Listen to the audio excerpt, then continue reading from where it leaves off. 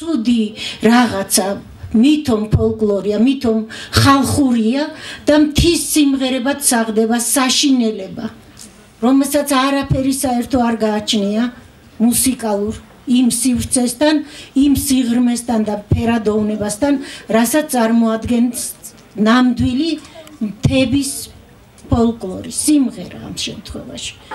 Ну ეგ ცალკე თემაა და ცალკე მსჯელობის თემაა მე დღეს არ არ გავყვები ეგეთ რამებს ქორეოგრაფიას რაც შეეხება თუშეთის აი აქვე გვერდით სოფელში ქუმელაურთაში აი აქვე საიდანაც იყო დედაჩემი ის მეუბნებოდა რომ მაწერიებდა მასალას 22 ბიჭი იყო ერთ დროს ქუმელაურთაში ერთი ასაკისო ერთი ასაკისო მოზრდილი უკვე 20-21 წლის ბიჭებია. და ვინ უკრავდა ამ დროს გარმონზე? თუშურ გარმონზე. რა თქმა უნდა გარმონი თუშური არ არის და გარმონი არის შუაზიური საკრავი რომელიც მერე გათუშურდება. მერე მიიღებს ამას შემოვა კავკასიაში და დაღესტნიდან და ჩეჩნეთიდან შემოვა თუშეთშიც. და გახდება თუშური, იმიტომ რომ ძალიან კარგად მოირგებს ყველაფერი იმას, რაც ზოგადად კავკასიურ სივრცეში ხდებოდა. მოირგებს და გახდება თუშური. გარმონ, როგორც ეხლა ქართულ გარმონს ეძახიან სრულიად არა ქართულს, მაგრამ ქართულად ყველაფრით ქართულად გაწყობილ ხალხურად რო ვთქვა. ისე რომ ერთი მეგარმონე ცნობილი რეპკო ბეკურიძე ცხოვრობდა ქუმელაურთაში და ამ 22-ვე ბიჭისთვის ცალკე ცაცაცეკვაო მელოდიას უკრავდა.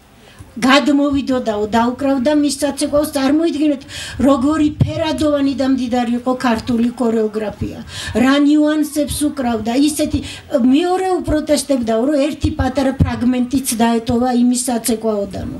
ყველა 22 საცეკვაო მარტო ერთ სოფელში რაღაც ერთ ლოკალურ დროს იკრებოდა. და ეხლა ქორეოგრაფიას ძალიან დიდი გასაჭირია ქართულ ქორეოგრაფიას. თუ გულწრფელად გავყვებით მაგას ჩვენ სულ ვართ ყოველდღიურად ექსპედიციებში და ჩვენ ხედავთ როგორ კვდება ნამდვილი ქორეოგრაფია ქართული. სხვა რაღაცაში გადასული. ეხლა ქორეოგრაფიასაც თავი დავანებოთ. სიმღერაზე უკვე ვთქვი რომ გული გაგისკდება ადამიანს ვინც ცოტათი მაინც იცი რა არის თის სიმღერა და მით უმეტეს თუშური სიმღერა და წავიდეთ ზეპირ სიტყვერებისკენ რის სპეციალისტი ცოტათი მე ვარ იმიტომ რომ ეგ არის ასევე მიუწდომელი დარგი. მას ვიამბეთ უკვე ვიამბეთ ისტორიაზე ვიამბეთ გეოგრაფიაზე თუშეთის და ეხლა უნდა ვიამბოთ იმ სულზე ვინც აქ ცხოვრობდა რას ქმნიდნენ რა იქნებოდა იმ სულისგან, იმ ადამიანებისგან, რომლებიც აი ამ სამყაროში ამ რაღაც არ ვიცი. არ მიყვარს ეგეთი გამოთქმები, მაგრამ ვიტყვი რომ აი უფლისგან ნაწყალობებ ადგილას ცხოვრობდნენ. საუკუნოდ.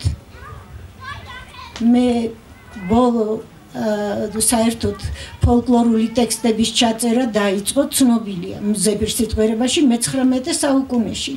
მანამდე იყო ზეპირად რა რატო ქვია ზეპირ სიტყვერები იმიტომ რომ გადაეცემოდა ზეპირად ტექსტები კუთხიდან კუთხეს მოძრაობდა მოგზაურობდა ეს ტექსტები და ძალიან ფერადოვანია თუშური ზეპირ სიტყვერება რა თვალსაზრისით. აბსოლუტურად ყველა ჟანრს რასაც მოიცავს ზეპირ სიტყვერება ცოცხლობს თუშურ სივრცეში. ანუ გამახვილებულია გემოვნება და აბსოლუტურად ღებულობს ფშავიდან, ხევსურეთიდან, თიულეთ გუდამაყრიდან, ხევიდან. ღებულობს აი რაღაცა ნაამბობ ამბებს, ნა ნათქვამ ლექსებს. იმიტომ რომ ყველანი მეგობრობენ ამათან, გადადენ, გადმოდენა არის და ციგნი არ არის, ესენი ერთმანეთს უყვებიან ამბებსაც და არა მხოლოდ შინა ტომებს, შინა ამბებს გებულობენ. ზოგად კავკასიურ ამბებს გებულობენ. ეს ძალიან მნიშვნელოვანი ამბავია და აი თქვენ უბრალოდ ვინც დაინტერესდება ამითი, შეუძლია ნახოს როგორ როგორ აა თანაბარ პერსონაჟებსაც კი ზუსტად ერთი და იგივე საქმეს აკეთებინებენ ლამის. იმდენად მოძრაობს ეს სიუჟეტები ტომიდან ტომში.